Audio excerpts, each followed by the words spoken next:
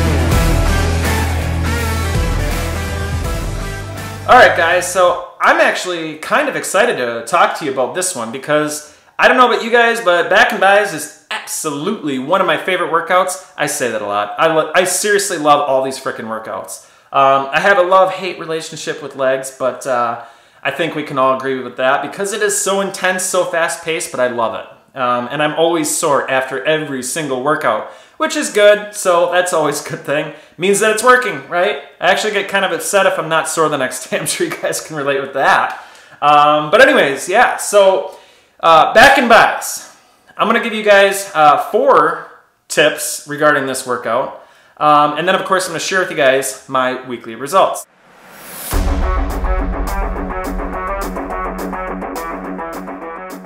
The first thing I want to talk to you guys about is the dumbbell pullover. Um, this move, I don't know if you guys can relate with this or not. I'm, I'm assuming you can. But during this move, I, when I first started this program, I never really felt like I was getting much from this move. Okay? Um, and, you know, maybe some of you are, which is great. But if you say have limited equipment and you feel like you could do this move for like ever, you know, uh, like meaning like you get to the 15 reps and you feel like you could just keep going. You're not feeling the burn, things like that. You should be feeling the burn immensely in your, uh, right here. You should be feeling it right there, for sure. So if you're not, make sure that you try this out, what I'm about to talk to you about. Um, obviously, during this program, uh, they're doing, or they're using dumbbells.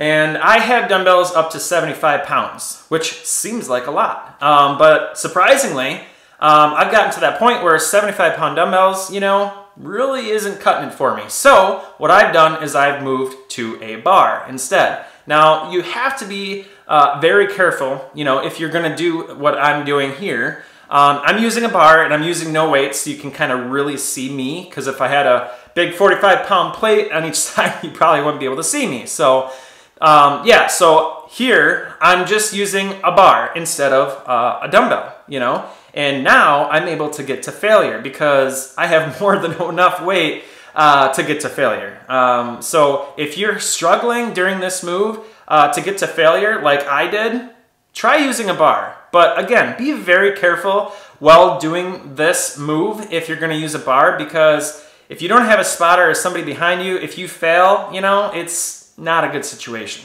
And there's a lot of moves in this program where, you know, if you fail, if you don't have a spotter, it can be dangerous. So be very, very, very careful uh, if you are going to do this move. Um, typically, when I'm doing this move, I use a 45 pound plate on each side, uh, which is a lot more than just 75 pounds. So I'm able to get to failure pretty damn easy. So that is why I like to use the bar, preferably over the dumbbells during this particular move.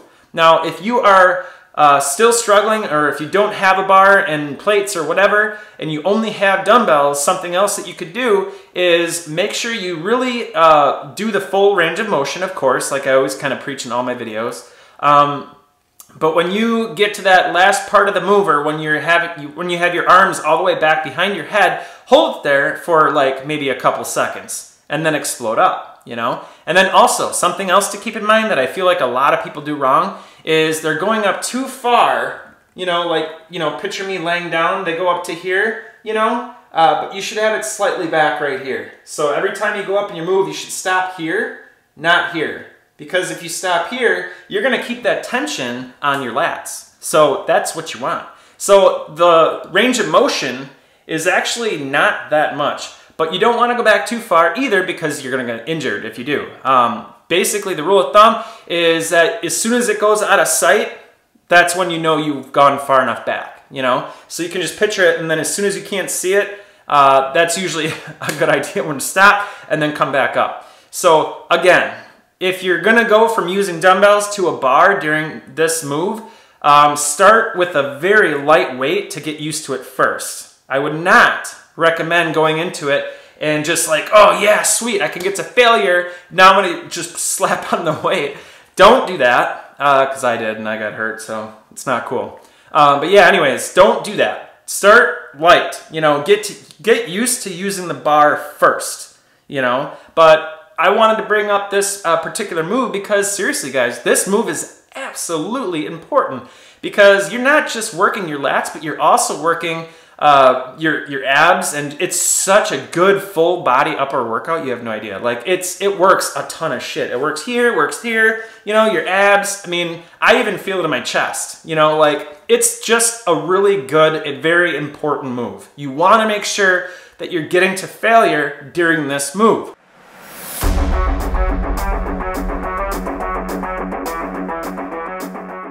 Now, the second thing I want to talk to you about is uh, deadlifts. Deadlifts, sort of the same thing, you know? Um, deadlifts, I think we can all agree, you can lift a lot of fucking weight. So um, what I've done is I've actually moved to the bar on this move as well. Now, um, each uh, thing has its, its advantages when it comes to like dumbbells or using a bar. Dumbbells are nice because you're able to bring the weight back to your side and really feel that squeeze when you bring it up, you know, every time. You can go like this, you know, every time. Now, when you're using a bar, you can still do that, but you're not able to really rotate your hands to get it really far back. Do you know what I'm saying? You know, you can really squeeze when you're using dumbbells, which I really like, you know, so um, sometimes I switch it up between the two, you know, just to get that extra squeeze uh, during my move. And not to mention, it adds just a little bit more muscle confusion, which is never a bad thing. So if you've been doing the program for a very long time like me, this is like what, my 28th round of Body Beast. Uh, you know, it's not a terrible thing for added muscle confusion, you know? Um, so um, if you are using dumbbells, again, this is very similar to that other topic that I just discussed with dumbbell pullover, um, but if you're struggling to get to failure on uh, deadlifts, huge red flag. Huge red flag. You need to be getting to failure. Um, just like I preached in all my other videos, if you're hitting your reps on every single move that you're doing, 8, 12, 15, you're not going to see results, ever. I mean, you're doing something. I mean, you're, it's, you're doing something. Something is better than nothing, you know, ultimately, of course. But you have to get to failure. You have to make sure that when you are going for your reps, like say for an example, and I say this in all my videos, which is cool because it is very important. Now, when I say don't hit your reps, so like for an example, if you're going for eight reps, you know, and you only hit six, you pick the right weight, you know? Um, if you hit your reps and you hit eight or eight reps, you know, then it's time to go up and weight. The idea is to not hit your eight reps. Try to stay between six or seven or whatever, just a little bit below your the reps that you're supposed to do, and then you know that you picked up the right weight. Because if you hit your reps uh, as I always preach too, keep going until you fail after you hit eight reps, and then next time, make sure that you go up in weight. So if you, again, if you hit six reps or seven reps when you're going for eight, that means you picked the perfect weight. Keep using that weight until you get to your eight reps, then go up. Again, if you hit the eight reps, keep going. The idea is to hit failure on every single move. So that is why I'm bringing up deadlift because we can all uh, agree, I'm sure, that deadlift is a pretty important move, especially if you want a big back, strong back, def more definition, overall lose weight. I mean, it's such an important move all around. So it's very important that you get to failure on this move, which again can be very difficult because you can do so much weight. Uh, so what I've done is I've actually switched to the bar, the same bar that I showed you in my uh, dumbbell pullover move. I use that bar and I just slap on the weights like crazy. Something else that I would recommend using is uh, using a bar like this right here, where you have this, you know, part right here. So then the bar doesn't tend to want to like turn out of your fingers. You know what I'm saying? Because otherwise, if you have just a straight bar, um, you're going to have to grab it a little differently. One hand forward, one hand back, you know? So right hand's like this, the other hand's like this, you know? So it doesn't spin out of your hands. You know, that's why I like this bar because you don't have to worry about that because it locks the bar in place because obviously all the weight's right here. You know what I'm saying? So I use I use that bar when I'm doing deadlifts every single time because when I use the dumbbells now, it's just not enough weight. Like I said, I only got 75 pound dumbbells and that equals out to obviously be 150 pounds. So um, deadlift, again, you can lift a lot of weight. So don't be shy, you know? Uh, when I worked out with my wife uh, in the past, you know, doing this program, um, she was super shocked on how much weight she could do. She was doing these little fucking 25 pound weights. And guess what? Actually, I think she, I think it was even less than that. I think she was doing literally 15 pounds, you know? She was going up with the 15 pounds, and then guess what happened two weeks later after she started working out with me? She had a 45 pound plate on each side uh, doing deadlifts. That is an insane. That's like, uh, I don't even know the math. I don't even want to think about it, but it's like 70 pounds more, you know, and she did that in two weeks. No, of course not. She didn't gain that much muscle. Uh, she just wasn't uh, lifting enough weight, and that's because, you know, uh, deadlift, you know, you can lift a lot of weight, and it's shocking, you know, so uh, just don't be afraid to slap on the weight when it comes to deadlift. But again, like I say in everything uh, that I recommend that you guys try, be careful. You know, make sure that you are going into your move cautiously and thinking about what you're doing, what muscle you're working. Put your mind in that muscle uh, and make sure that it's engaged. You know, a lot of people kind of just kind of like fall into their moves, you know, and that's when injuries happen. You know, take a moment, you know, just like I talked about in one of my last videos, I think, but get in the zone, you know, before each lift, you know, and really think about what muscle you're working and engage it, you know, don't just fall into your moves because again, that's when injuries happen. So when you're using the bar, again, don't be shy. Slap on that freaking weight and get to failure. It's extremely important. You can't have a big chest if you don't have a big back, right? Um, so that's all very important stuff.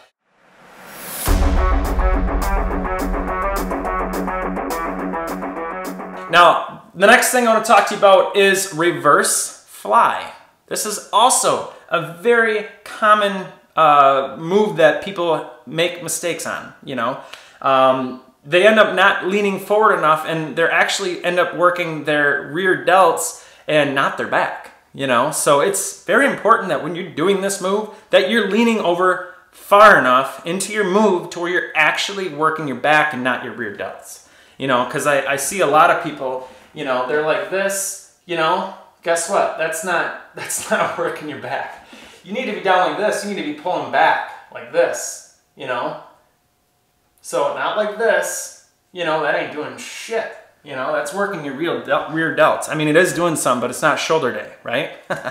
so make sure that when you are leaning over, you're leaning over far enough when you're sitting down doing this move, and you're pulling back. Just remember, back. You're working your back, so pull back. Not like this, you know, where you're working like your real delts, you know?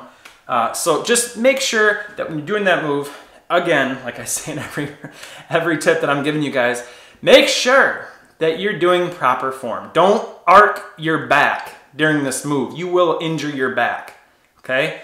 So keep your back straight, just like deadlift. Picture yourself going into a deadlift. What do you do? You don't arc your back. At least I hope not. Uh, but just make sure that when you're going down and you're all these moves, you're not arcing your back, okay? Uh, very important because I've injured, I say that because I've injured my back during this program so many times, you guys. So I talk about uh, how to avoid injury a ton on my team. And this is all stuff, by the way, you guys. This is nonstop. I talk about these tips in my group literally every day or as much as possible about anything and everything that I could possibly think of. I got a whole list list of things that I talk about. This list is growing. There's so many things that I can talk about, but of course, you know, like I always say in my past videos, um, I'm only able to do one video a week with you guys just because I like to put most of my time into my team. So the tips that I'm giving you right now is like stuff that you could be getting every day if you wanted to be a part of my team. So that invitation, you guys, seriously is always there.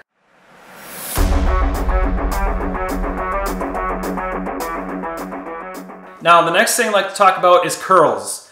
Um, curls, uh, you know, like a lot of people they're they're just swinging their arms too much. So um, I have a fix for you that could work to help you uh, really concentrate on getting your elbows to stay stationary.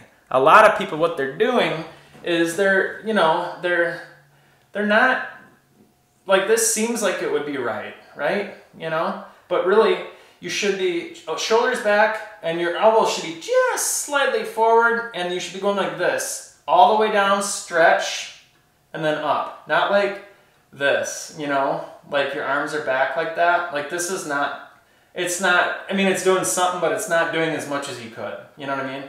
So again, you know, shoulders back, arms just slightly forward, shoulders just right next to your side, and keep those sons of bitches stationary you know? Now, the tip that I have for you is if you're having issues or if you don't have a mirror, which again, I would recommend having a mirror because without a mirror, how the hell are you gonna know? You know, it's really hard to gauge what you're doing if you can't see yourself. So um, that's why it's very important to have a mirror. So this move right here is another alternative, something that you could do to make sure that you are keeping your elbows stationary, which is bringing your arms out slightly. You're doing like a wide bicep curl, basically. Um, I, I, think there's a technical term out there for it, but um, you can see right here what I'm doing. I'm not going straight forward, I'm going out to the side just a little bit. And what that's doing is it's keeping your elbows stationary, which is what you want, right? So that's pretty much all I got for you guys in this video. Um, these things are abs absolutely game changing. And I'm gonna run through this one more time real quick, just kind of like uh, run through everything I just said. So dumbbell pullover is the first thing that I said. You know, don't be shy to, you know, use a, a bar instead. Get to failure, extremely important. The second thing that I talked about was bar versus dumbbells that both had their advantages. But the biggest thing that you need to do is make sure that you get to failure, you know? So when you're doing deadlifts, you know, if you are having issues getting to failure because you don't have enough weight, maybe it's time to either invest in some weights, which it's a one-time buy, you guys. You know, we make money for the things that we want, just that simple. So uh, for a one-night stay at a hotel, you could have a whole set of weights. Just saying, a nice hotel, like 300 bucks, you know, or something like that. Maybe even cheaper. But you guys get the idea. So we make money for the things that we want. It's just that simple. It's just that's just the way it is, you know. Um, so that, that was number two. You know, so just make sure that you're uh, keeping the bar in mind, you know, with all these moves. Get creative a little bit, but safe, safety first. Just make sure you're being safe.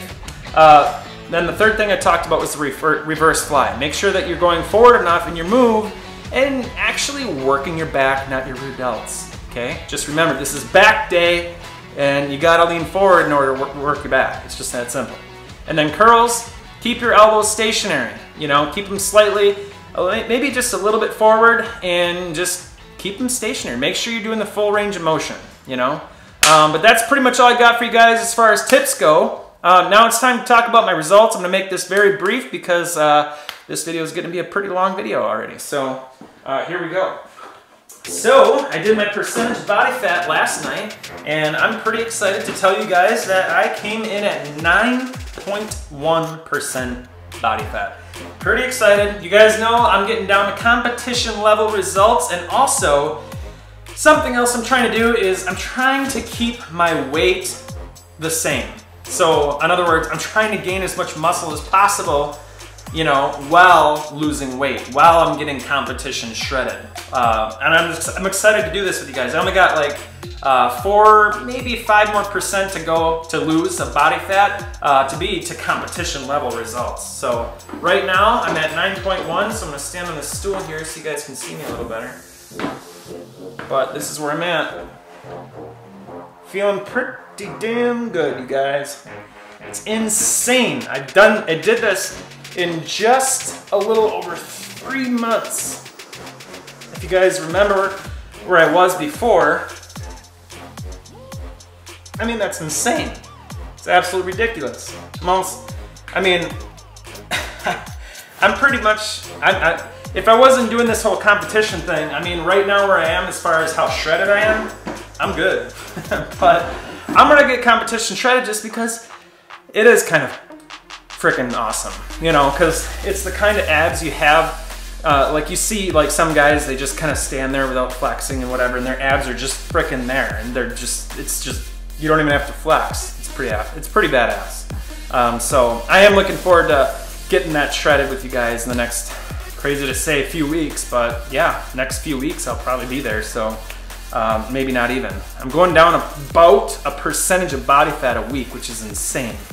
And uh, yeah, my team is loving it, you know, because again, I'm sharing a lot of this stuff that I'm doing um, with my team, you know, um, but it's also very important to keep in mind, you guys, you know, uh, that coming into this, it's all about consistency, and this is something that I preach to my team all the time. You will never see me skip a workout. You will never see me skip meal prep, you know, and it's just that simple. It's consistency. Am I perfect all the time, every single day? Do I screw up every once in a while? Yeah, of course, I'm human. Um, but for the most part, you know, uh, I'm always kicking it, killing it every single day, you know, no excuses. Life happens, shit happens, you know, I hear, I've heard all the excuses. Of course, with it being winter, you know, I got people even saying, you know, I had slammed with snow and I got to do this, you know, I got to do that, you know, and I, I, I, took, uh, I used uh, snow shoveling as my workout tonight. No, can't be doing that. Nope, that, does, that is not your workout. You have to stick to what is on the schedule. Commit to that shit. You know, that is what's gonna get you results. Do the gym first, everything else after that, that's just called life, you know? And a lot of people say too, is like stuff like, uh, you know, I, I just gotta deal with this right now you know, I'm pretty busy. I'm not very motivated, you know, and all this, you know, and I'm just busy, you know. Um, but you got to remember, whatever it is that you got going on, whatever is making you busy or whatever, um, when that stops, guess what's going to happen after that? Something else is going to come up, you know. It's just life, you know. The the moment you can accept that, that is when you're ready to get some game-changing results. I got some crazy SOBs in my team. You know, some of the one guy he got like three hours of sleep, but he still got in the gym because he's got that mindset now. And guess what? He's getting results. You just got to have that mindset of like, no excuses. I'm getting in the gym, and then life is after that. You know what I mean? It's like going to work. Honestly, you know, you just you go to work. You don't just come home from work early, you know, and just tell your boss you're leaving, you know, because you got to go take care of something. No, no, I mean, unless you want to get fired, you know, but you get done at a certain time and then you deal with life, right? Your workouts should be very similar to that. You come home, you get in the gym, kind of like work, and you, there's no there's no questions. You know, it's your health. You know, you, you do that for your job, but you don't do it for your health. Isn't that kind of fucked up, right? You know, it, you should have your health still be as much of a priority as your freaking job, right? So why can't you do that with your workouts? Do your workout, then worry about life. Just like you go to work and then worry about life. You know what I'm saying? So you gotta start getting that mindset, you know, that it's just that simple. And you will never see results unless you can get to that mindset. And that is what I help drill into my guys' heads every single day with motivation, of course. You know, I get it. You know, when I first started out, I didn't have this mindset. You know, it didn't come to me naturally.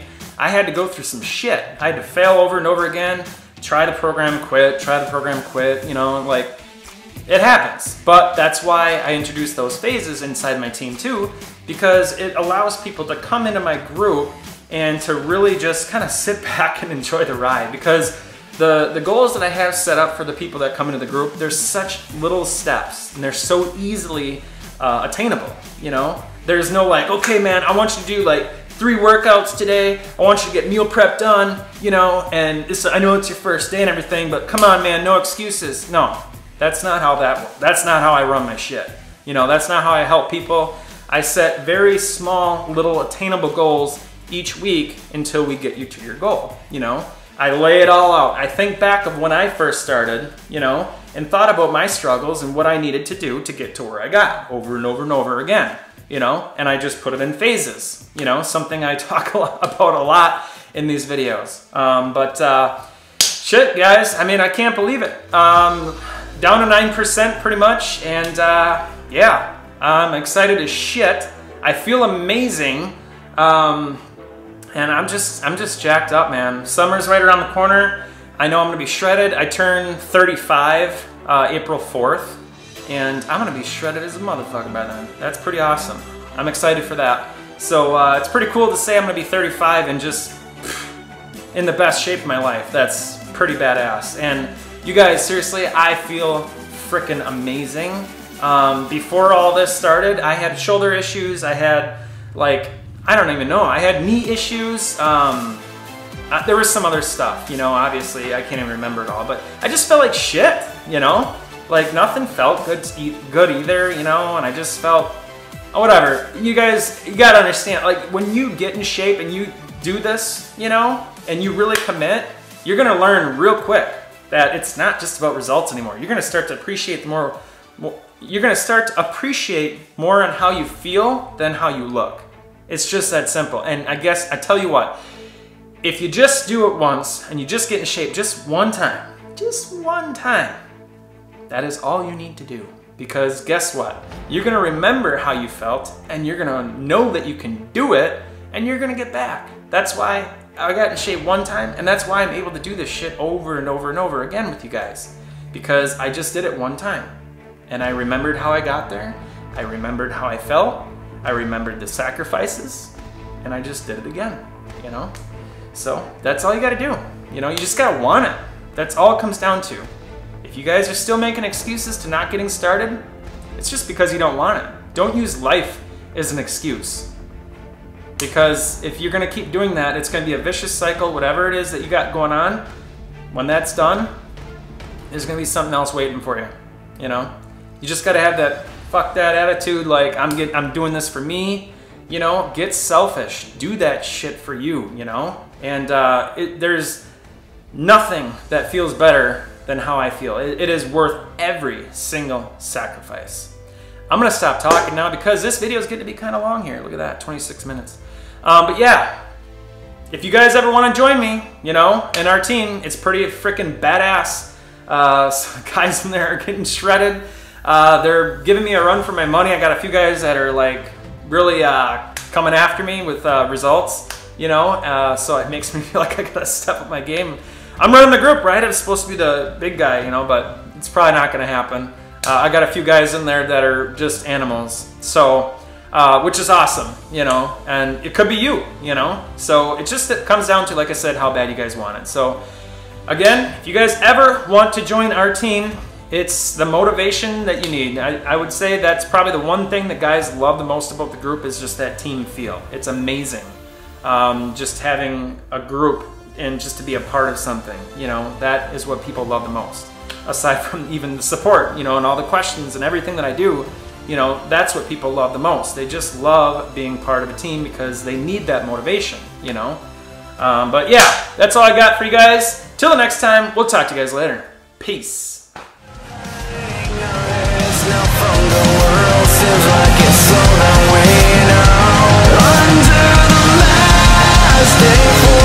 You.